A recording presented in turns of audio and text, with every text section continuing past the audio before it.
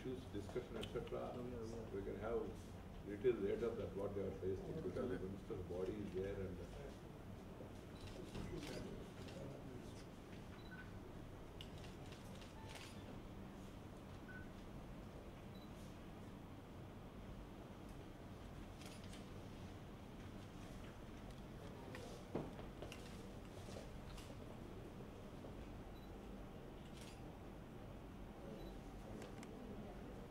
I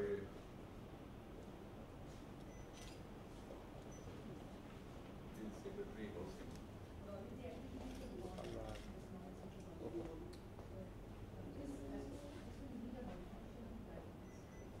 नीचे बैठो इधर भैया नीचे बैठो आ जाओ आगे आ जाओ नीचे बैठो बैठ जा भाई नीचे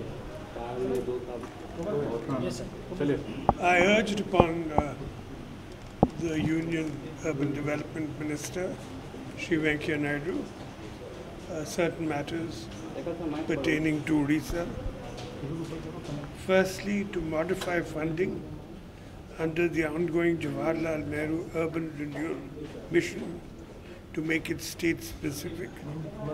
This will ensure equitable distribution of resources and impart freedom to the states in selection of projects.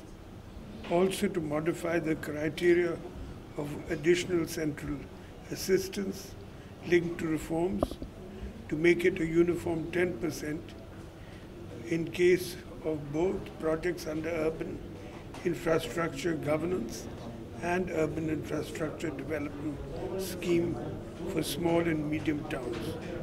Also to release the first installment of additional central assistance amounting to one third of rupees 460 crore for undertaking bus rapid transit system in Bhubaneswar and several other matters. Chief Minister of Orissa and my good friend uh, Sri Naveen Patnaik ji has come. Uh, we had a preliminary discussion today because of this uh, sudden uh, tragic death of our colleague. He has highlighted certain aspects which need immediate attention. I have already told my both the secretaries of urban development and housing. Those issues raised by the Honorable CM will be addressed at the earliest and whatever is pending with the Government of India, those funds will be released. With regard to modification of the guidelines that need discussion and then a policy decision, we will take it up at the earliest.